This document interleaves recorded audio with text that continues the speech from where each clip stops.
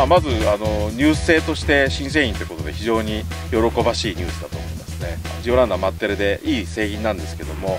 えー、もうそろそろなんか違うのを人と違うのをつけたいという方もいらしたし、まあ、何はともあれあのジムニーっていう本来の車のメインステージはあのオフロード、まあ、いざという時にその一番戦闘力の高いタイヤっていうことで待ち望んでた人は、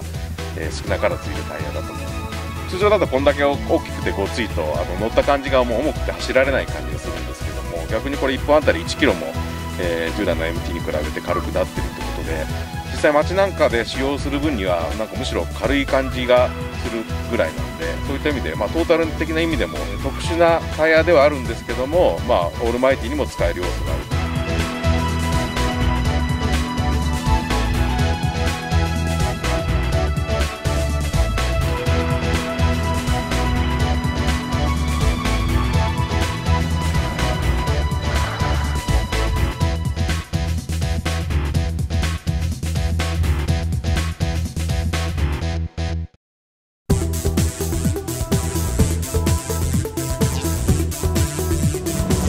中央道を川口湖方面に向かって進んでます。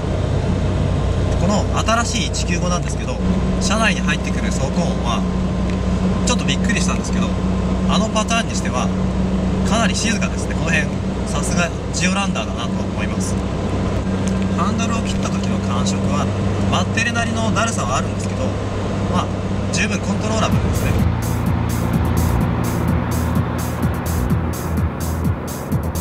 快適にドライブする上であの185も195も変わらないんですけれども195の方がちょっとサイドが柔らかい分あのちょっとソフトな感じはありましたね。でも音はそんなにあのオフロードに特化したというタイヤの割にはすごく静かで好印象でした。こう攻め込んでいくようなところではやっぱり185の方の合成があのしっかり感があって気持ちよかった。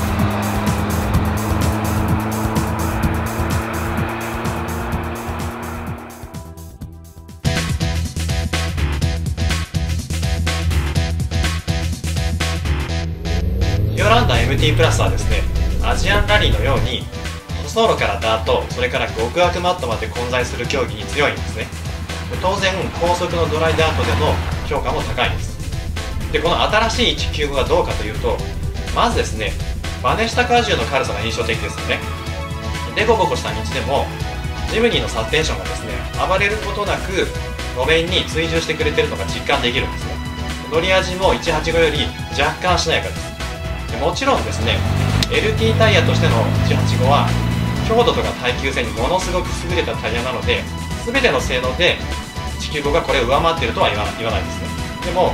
グリップ性能とかトラクションともにですねこういった林道ドライダートでも十分に通用するレベルですね。国内の林道はこれで十分だと思います。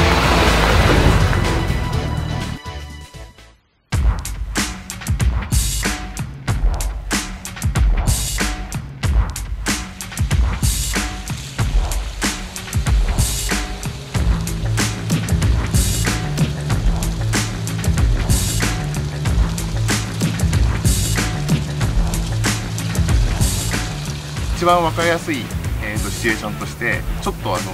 マッティーなちょっと湿った泥の路面のモーグルを走ってみたんですけれどもあの185でこう走った場合ですねあの斜めになったところから再スタートしようとするとお尻がどうしてもズルズルズルっとこう滑る印象があるんですね。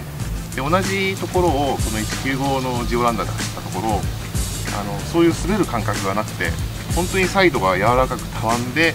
このトレッドが土に刺さるというような感覚で、うん、そのままダイレクトに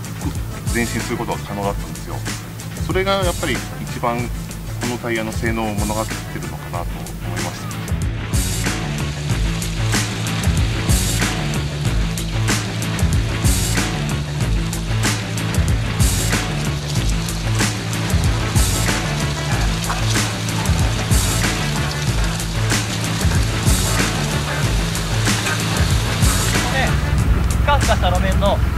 ヒルクライム精度を確かめてみたいと思います。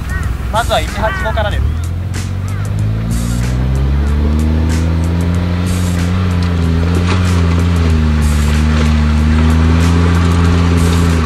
次に185が荒らした後の路面を195で登ってみたいと思います。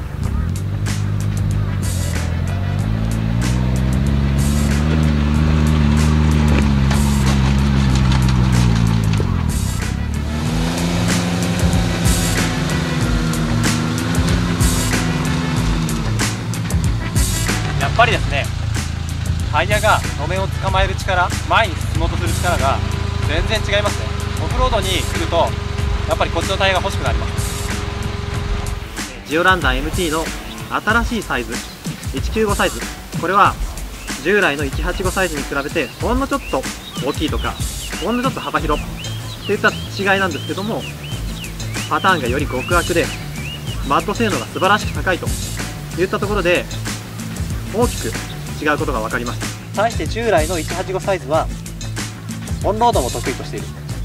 音もマットタイヤと思えないぐらい静かでそして極悪オフロードからえーオンロードまで本当にマルチパーパスに走れる。195と185その性格は本当にはっきりしているのでユーザーは使い勝手に合わせて選べばいいと思います。で今回の新しい195を一言で言わせていただくとしたら本当にコアなこのジムニ市場によくぞ出してくれたと。そういったタイヤだと思います。